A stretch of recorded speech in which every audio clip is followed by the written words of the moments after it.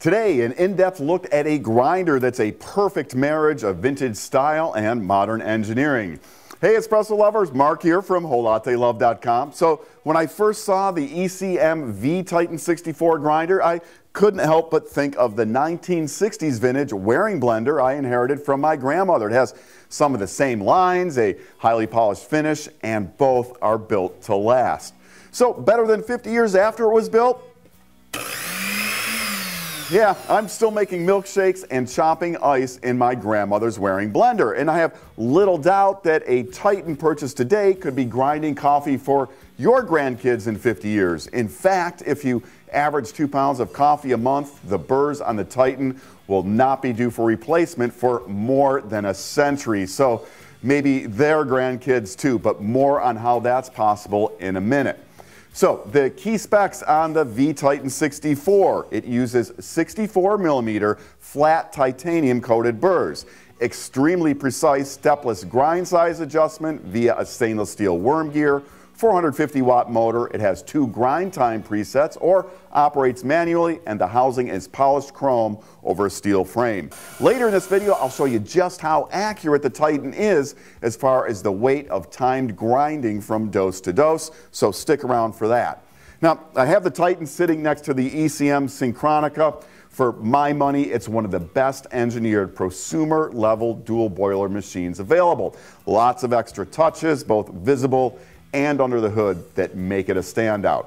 The two really make an impressive pair, and ECM has put the same attention to detail into the Titan as they did with their Synchronika. Let's start with the burrs. Again, 64 millimeter, but what makes them special is a titanium coating, and that's where the Titan name came from for this grinder. According to ECM, their titanium burrs are rated to grind 1,200 kilograms. That's a little over 2,600 pounds of coffee before they will need replacement. And that's two to three times the lifespan of regular stainless steel burrs. So, say you grind two pounds a month, yeah, you won't be replacing burrs for about 110 years. Grind timing and other functions are controlled using a silver finish display, which matches the display on ECM's flagship Synchronika machine. There are two timed grinding presets adjustable in tenth of a second intervals. Grinding is started by bumping a switch with a portafilter. A single push grinds for the time set in T1, bump twice to grind to the time set in T2. Now, you can still grind manually when in automatic mode by pushing and holding in the start switch and grinding stops when the switch is released. And if you prefer grinding manually all the time, you can set the grinder to manual mode and it runs whenever the portafilter switch is pushed in. When not grinding, the display shows moving bar segments, but if you prefer a cleaner look, you can turn off the display to show just one dot, yet retain all the automatic functions. When the dot is on the left, it indicates automatic time grinding, and to the right indicates the grinder is in manual mode. The stainless steel worm gear allows for incredibly precise grind size adjustment. It gives you fine and repeatable control that's more accurate than grinders with turning collar adjustments. And because the worm gear can turn the collar, but the collar cannot turn the gear, your grind setting is always locked into place until you make a change. Now, one thing I always look for in a grinder is how well the grinding chamber is sealed from the threads of the adjustment collar. A poor seal allows coffee to gum up the threads, making adjustment difficult with some grinders. On the Titan, there's an O-ring which seals the grinding chamber so coffee stays out of the threads.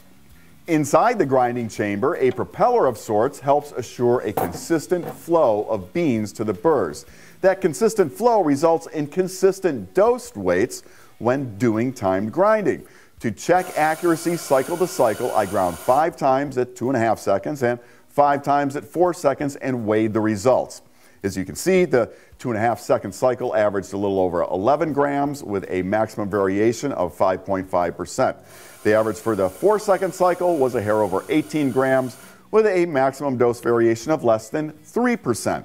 In my experience, the Titan matches or is slightly better in dose accuracy than other grinders in this price range like the Ceado E37S.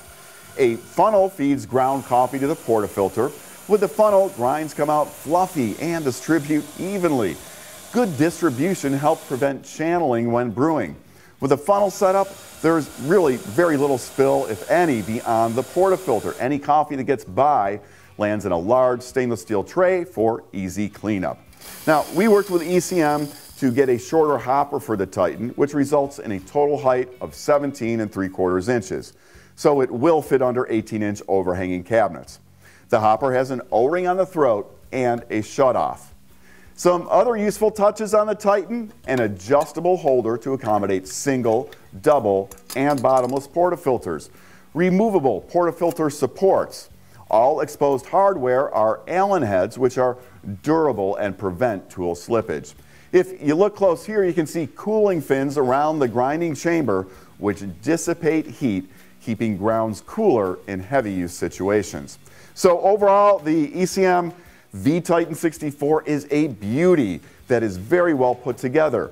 Worm gear grind size adjustment is as precise as I've seen.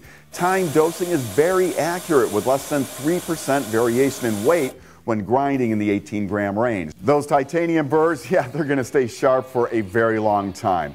I love the vintage look and the extra quality and design touches. It's a grinder built to serve for a lifetime or two of home use. A real standout, and in my opinion, one of the finest 64 millimeter prosumer level grinders available.